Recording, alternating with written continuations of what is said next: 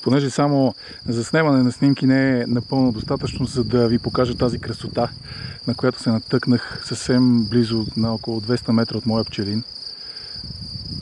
Това е акациева горичка, която, която продължава около 2 км надолу. А пък ливадите са осеяни с бяла детелина и нещо жълтичко, което не, не ми е ясно какво е. Но бялата детелина е страшно много.